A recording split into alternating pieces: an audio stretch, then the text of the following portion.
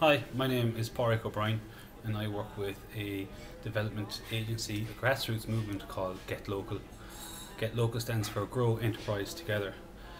Our vision for the future of Ireland is to create a more resilient economy and a more resilient community within the boundaries of, of Ireland and hopefully our model can be replicated uh, internationally over time.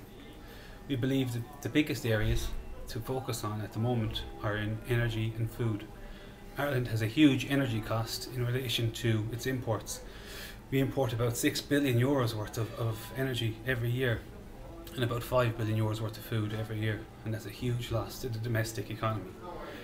We're looking to put a plan in place to tackle that situation, to reduce our energy imports, and to create a more sustainable, more resilient community.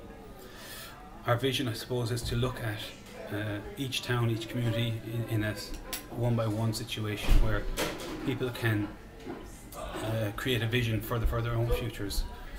Pulling somebody out of underemployment or, or, or unemployment into a situation where they can become uh, a community leader, a person that can actually be looked up to and which can be uh, looked upon as someone to follow uh, and doing the right thing in terms of um, sustainability and local self-sufficiency. So if we can create a, a, future that does this for Ireland, we can protect ourselves against the um, situations internationally in terms of um, energy supply shortages, climate change, and we can create jobs as we do it.